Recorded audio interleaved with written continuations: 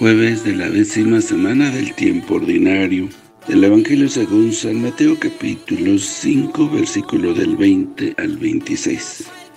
En aquel tiempo Jesús dijo a sus discípulos, Les aseguro que si su justicia no es mayor que la de los escribas y fariseos, ciertamente no entrarán ustedes en el reino de los cielos. Han oído que se dijo a los antiguos, no matarás, y el que mate será llevado ante el tribunal. Pero yo les digo, todo el que se enoje con su hermano será llevado también ante el tribunal. El que insulte a su hermano será llevado ante el tribunal supremo, y el que lo desprecie será llevado al fuego del lugar de castigo. Por lo tanto, si cuando vas a poner tu ofrenda sobre el altar, te acuerdas ahí mismo de que tu hermano tiene alguna queja contra ti, deja tu ofrenda junto al altar y ve primero a reconciliarte con tu hermano y vuelve luego a presentar tu ofrenda.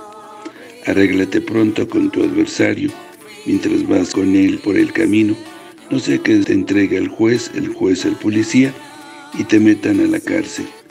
Te aseguro que no saldrás de ahí hasta que hayas pagado el último centavo. Palabra del Señor. Gloria a ti, Señor Jesús. Al llegar el Mesías al mismo tiempo que la ley alcanza toda su plenitud, es también superada. Jesús, con la autoridad del profeta definitivo enviado por Dios, sigue comparando las actitudes del Antiguo Testamento y mostrando que ahora deben ser perfeccionadas. Dice Jesús, si tu justicia no es mayor que de los escribas y fariseos. Los escribas es el grupo religioso de personas fervientes, adversarias de la tibieza y, y mediocridad espirituales que adoptan posturas radicales.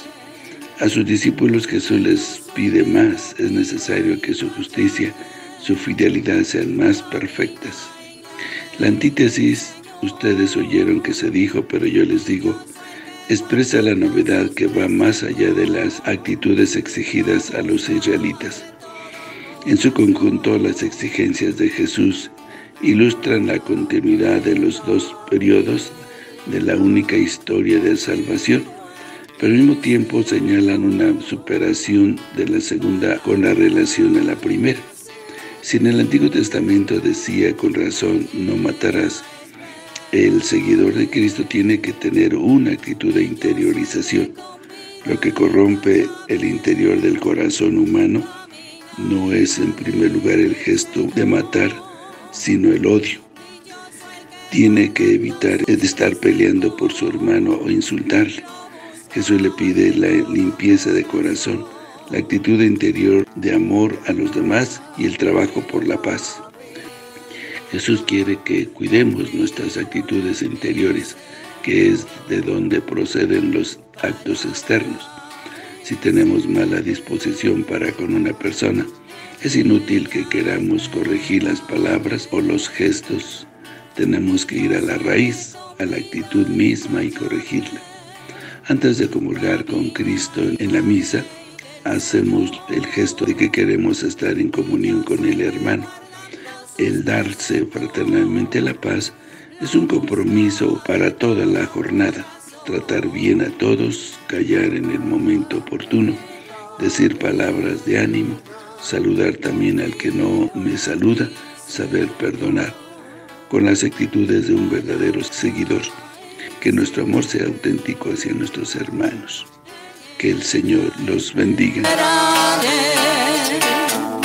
Dichoso el que con vida intachable camina en la ley del Señor.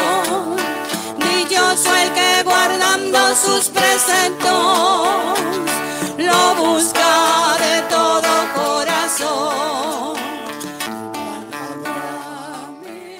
La bendición de Dios Todopoderoso, Padre, Hijo y Espíritu Santo, descienda sobre ustedes, que los acompañe siempre. Que el Señor los bendiga. Si te gustó este video y deseas seguir recibiendo el Evangelio, misa en vivo, oraciones y muchas reflexiones más. Ayúdanos a seguir creciendo. Suscríbete a este canal de YouTube. Activa la campana de notificaciones. Deja tu comentario. Dale me gusta. Y compártelo con todos tus seres queridos. Que el Señor te bendiga a ti y a toda tu familia. Bendiciones.